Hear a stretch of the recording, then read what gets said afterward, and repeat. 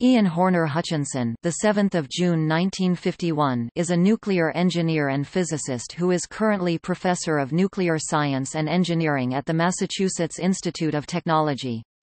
He has made a number of important contributions to the fields of nuclear engineering and nuclear physics and has also written about the philosophy of science and the relationship between religion and science.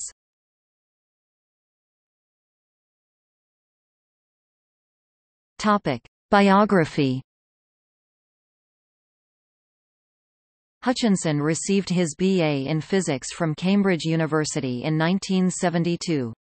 He then received his Ph.D. in engineering physics from Australian National University in 1976, where he was a Commonwealth Scholar.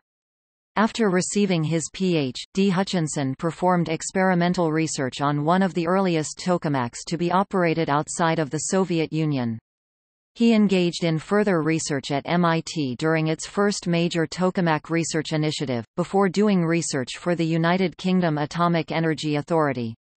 He returned to MIT in 1983 as a faculty member in the Nuclear Engineering Department, and served as the head of the Department of Nuclear Physics and Engineering from 2003 to 2009. Hutchinson has authored more than 160 journal articles on plasma phenomena and nuclear fusion. He was the 2008 chairman of the Division of Plasma Physics Group of the American Physical Society. He is author of the standard monograph on measuring plasmas, Principles of Plasma Diagnostics. He has also authored a book on the philosophy of science, arguing against scientism. Hutchinson is a contributor to the Biologos Foundation and has written and spoken on the relationship between science and religion, arguing that religious belief, and belief in Christianity in particular, can be perfectly reconciled with science.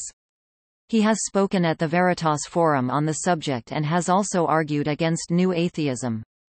Hutchinson is also the author of the computer program TTH A TeX to HTML Translator, a popular program for web publishing of mathematics.